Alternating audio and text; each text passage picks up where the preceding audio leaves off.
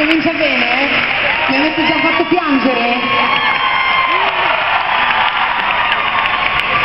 Ben arrivati, buon pomeriggio.